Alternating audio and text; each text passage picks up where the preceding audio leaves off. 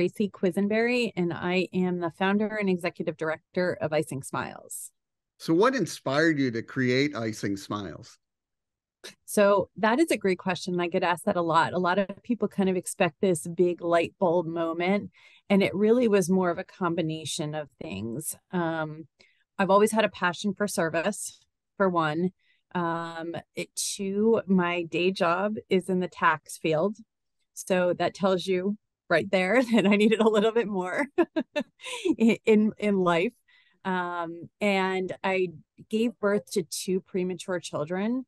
So seeing what prematurity and even minor health issues can do to a family um, when I decided to start a nonprofit where we were, you know, providing temporary escapes through baked goods, um, that tended to be my target audience just because we had a, a little bit of our own health scares within our family. So, can you tell me a little bit about what Icing Smiles does? Sure. So, we provide our mission is to provide dream cakes for kids with critical illness as well as their siblings. Um, but I always like to caveat that mission by saying it's not what you expect. It's, you know, a lot of people, when you say cake, they assume you're talking about like a sheet cake from a grocery store. Right. And what we deliver are these custom decorated, elaborate cakes, similar to what you would see on Food Network. Um, and and the goal is to provide these kids with something to celebrate. I mean, normalcy has been taken from them, and cake brings things back to normal, even for just a short period of time. Plus, it gives parents a reason to take pictures. I mean, if you think about it, when you have a child that spends a lot of time in a hospital bed or sick, you're not taking pictures that often. This gives you a chance to kind of commemorate their life. How is it for you that, you know, this simple gesture is, you know, it does have an impact on people's lives? So, Michael, that's something that um, I think we didn't realize the impact. I thought, you know, I thought it would be just a nice, simple gesture. And very quickly, I learned that, you know, I'll speak to the impact on the families we serve, but also the impact on our volunteers. I mean, I can't tell you how many of our volunteers say they stay in the craft um, just to be able to serve Icing Smiles and they maintain their skills so that they can serve these kids.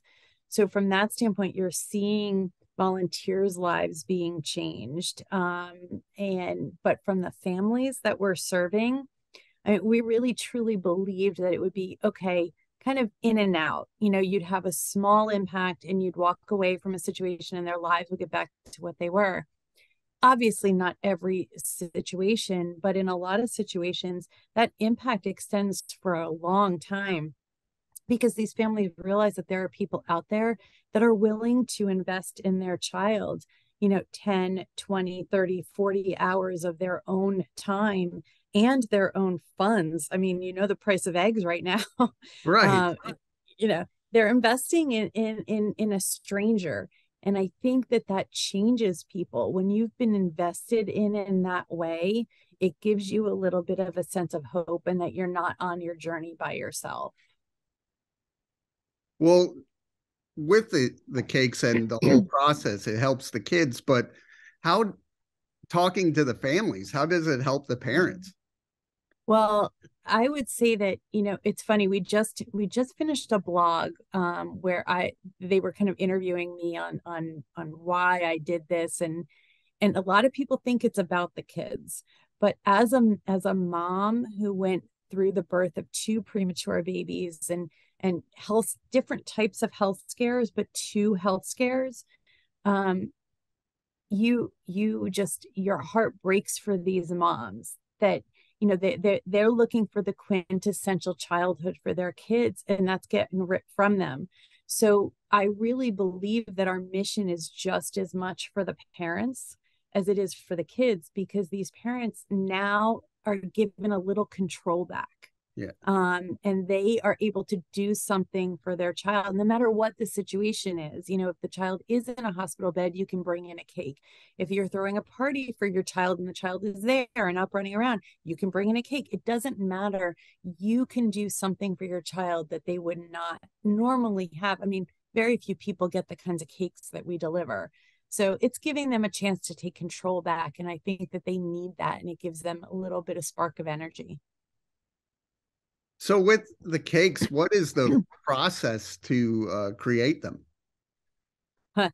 Well, there's creating and then there's qualifying a family and they're two mm. completely different things yeah. so there's actually a lot that goes on behind the scenes that people don't realize um, we pro- we have several hours of work before like a family kind of gets approved and a baker gets assigned when it comes to creating the cakes themselves what we do is is in our initial process we ask the families for a theme for the cake and then we allow our volunteers complete control over design um, for multiple reasons. One being our volunteers are at all different levels. So handing them a picture of a cake that they can't execute won't do any good.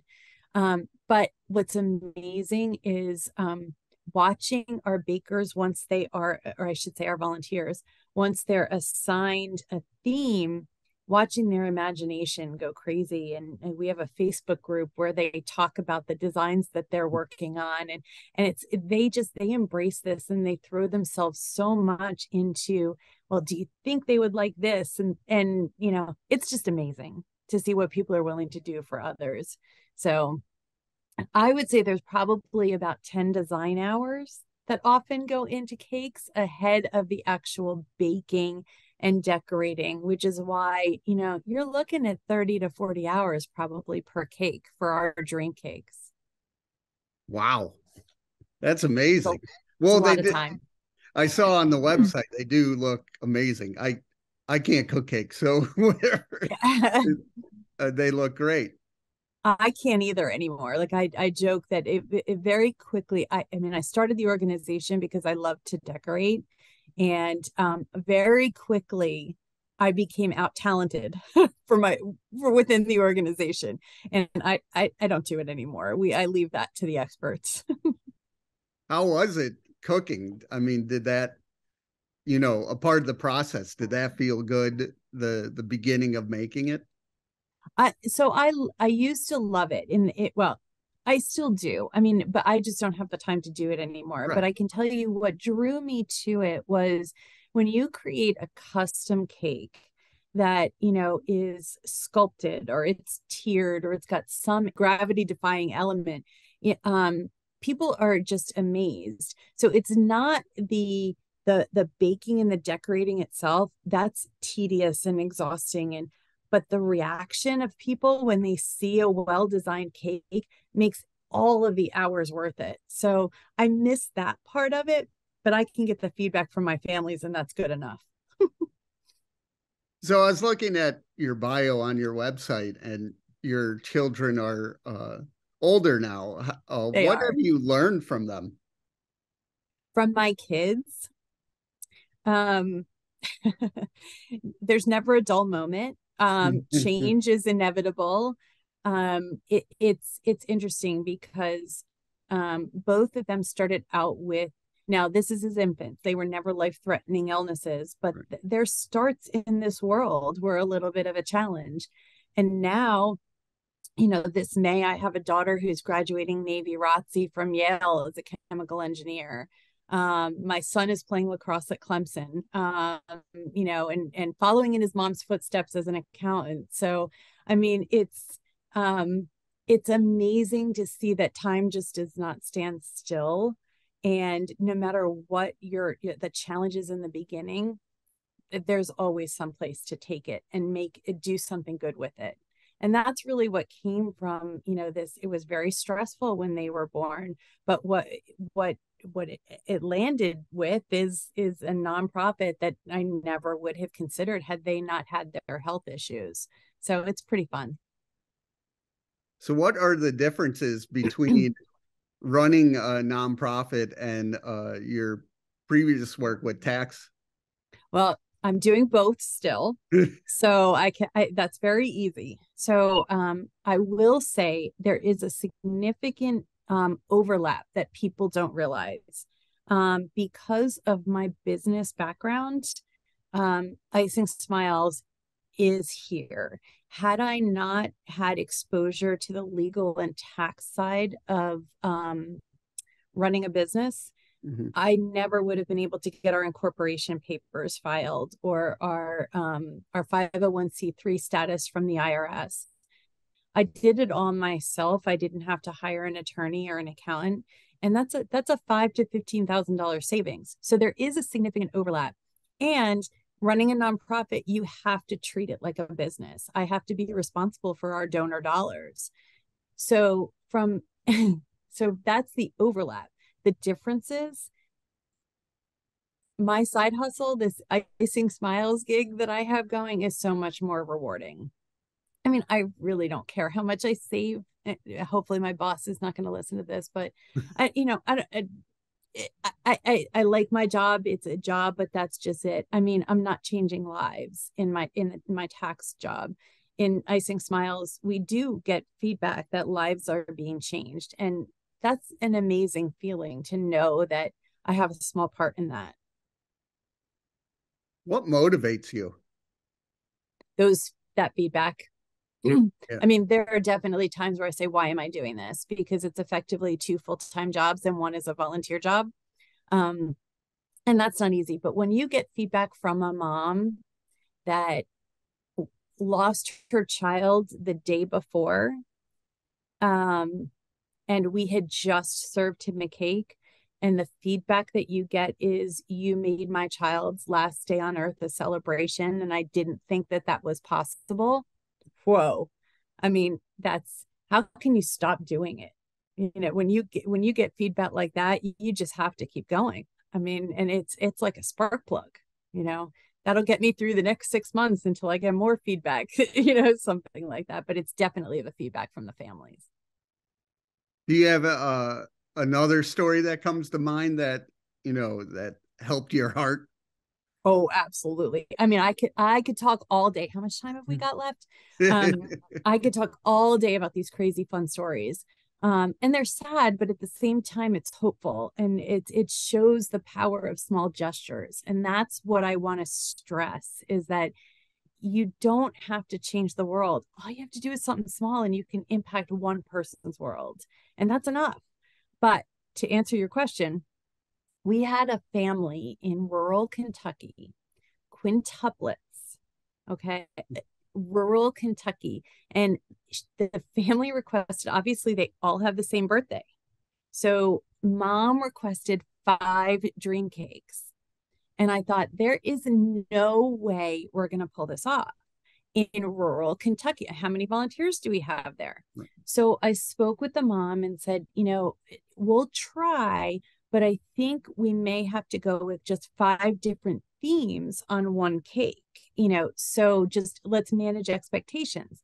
Well, we found this amazing, we call our volunteers sugar angels. We found this amazing sugar angel who stepped up and did five separate dream cakes for the same day, completely donating her time and materials, delivering the cakes. And then we got a letter later that week from the child, the sick child who has cancer. And he says, This is the first time since my diagnosis that I'm happy I have cancer. My siblings have never had their own birthday cake, and this makes it worth it. So things like that, you're like, it's a cake. it's a cake. But cake can make a difference. It's just like a, almost a universal love language. So that's one. Um, do you want one more? Yes, please. Okay, so another one. This was very early on.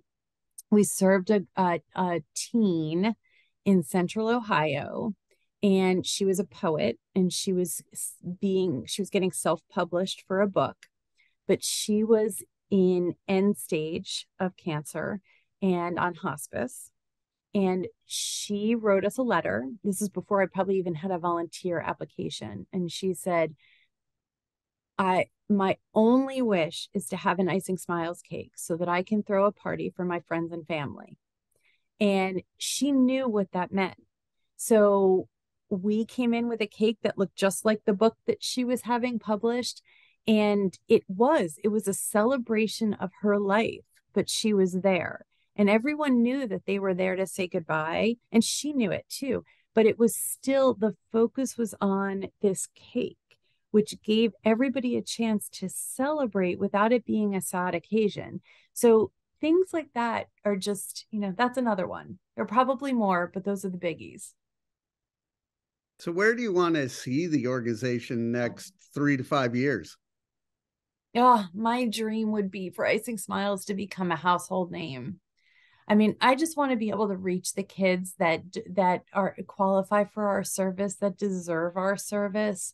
Um, and it, it's hard. It's hard to do on a limited budget. So that's ultimately my goal. I would like us to become the you know the Bake a Wish, uh, you know of. Well, of I like the, that of the nonprofit world. Yeah, if it weren't a um, trademark violation, we probably would have used that as opposed to icing smiles. But um, but yeah, it's kind of that's where I would like to see us because when you have that type of of recognition it's it's easier um, to bring in donations it's easier to bring in sponsors it's easier to reach the kids that you're serving it's easier to reach volunteers so that's my ultimate goal is to become a household name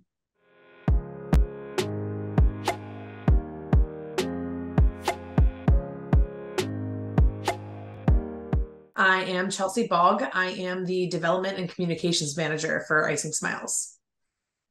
How did you get involved with Icing Smiles? Yeah, so I joined Icing Smiles um, actually as a sugar angel initially, um, right out of culinary school. I had just graduated and I was looking for for more opportunities to do cakes and had a strong passion for philanthropy and giving back. Um, a friend of mine uh, referred me to the organization and um, it, it seemed like the perfect fit for me combining you know two of my strongest passions pastry and baking and and giving back um so i it, i joined back in 2013 so i guess 10 years ago. Oh wow. Yeah.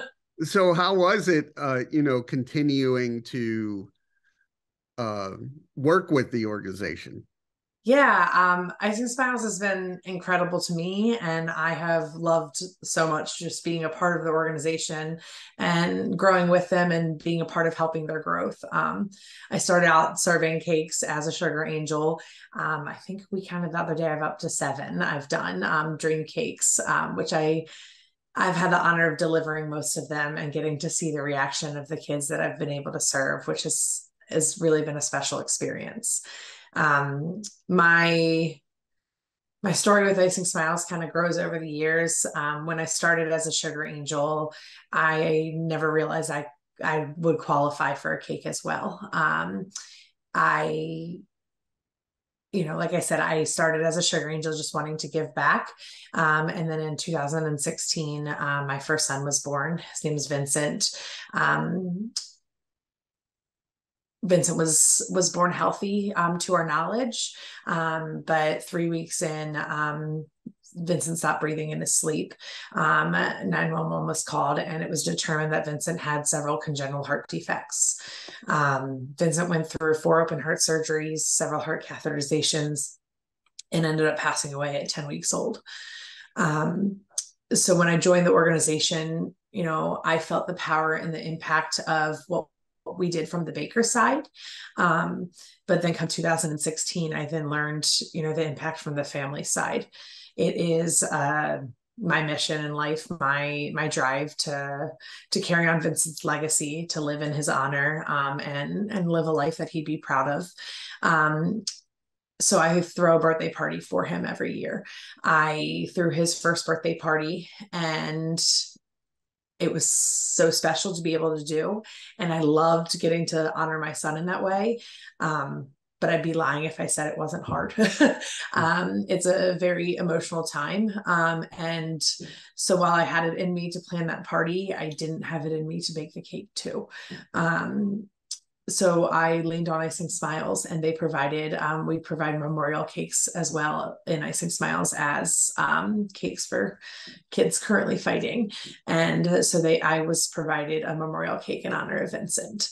Um, so I really felt the organization full circle at that point. I got to experience both sides of of what you know the baker and the family gets to feel um, which ignited my fire even further um, for wanting to be a part of icing smiles and and serve and give back. Um, tracy is lives in maryland and that's where i'm located as well um, and she learned some of my story um, and i was invited to be uh, the keynote speaker at a buttercream ball which is an in-person fundraiser that we hosted in baltimore um, and then also get to take place in the showpiece showdown which is three bakers competing at the front of the room, um, creating sugar show pieces for the audience, um, and you know having your cake voted on, and you're paired with. Uh, a medical child for that event. Um, so we got to help. Ella was my partner. I got to help her learn some things about cakes and baking, and we actually won the showdown as well. Oh wow! Yeah, it was so fun. Uh, uh, you know, a great atmosphere. Again, great people. Just you know, combining my worlds. Um, because I had won, I got invited back to the next year. And then that's when I got to know Tracy better and she learned my background goes farther than just pastry. Um, I also have my degree in marketing and communications and my master's in business administration as well. Um, so Tracy has a wonderful talent of her um, where she she finds people's strengths and pushes them.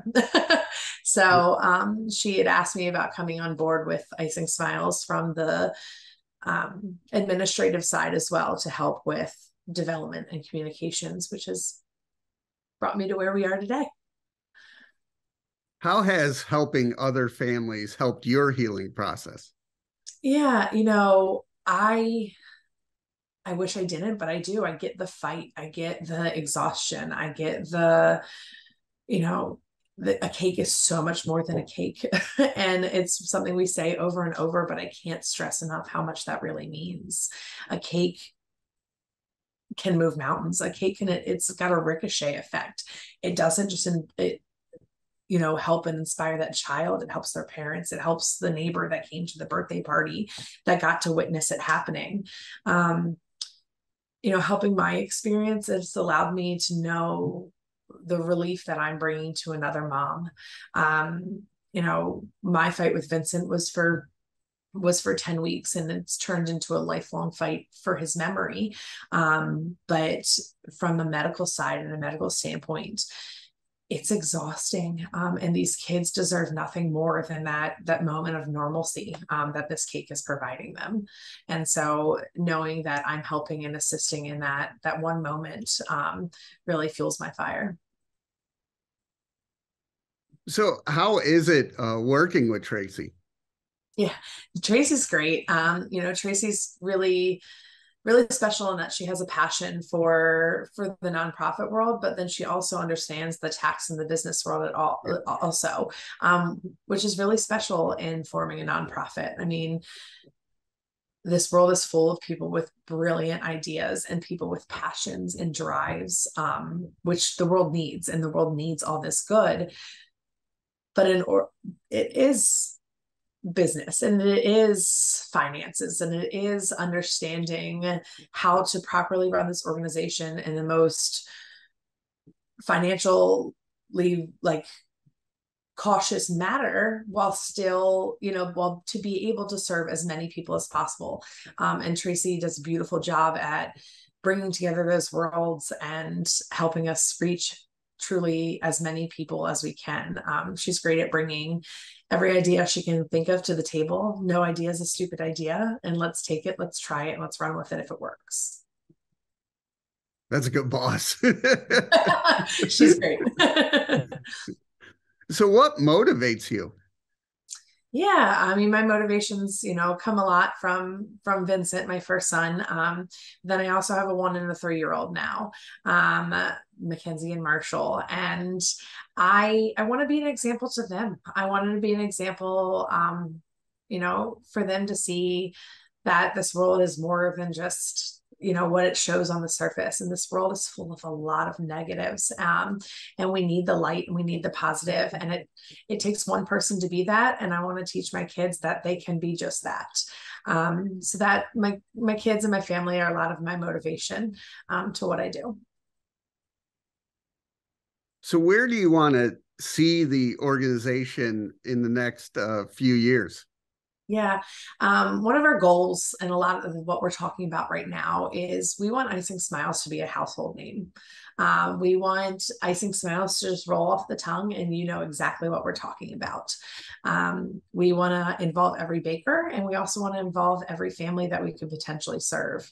I, we we're getting close to reaching 30,000 cakes that the organization has served, which is such a huge big number. I mean, the fact that we we've served in the across the whole country and we have bakers you know northeast south and west that are all serving for icing smiles is an incredible accomplishment um, but sadly there are way more kids that need to be touched and served by this organization also um, and there's plenty of of families who would benefit so much from what we do, but they just don't know about us yet. Um, to no fault of ours or their own, we're growing at a pace that we can.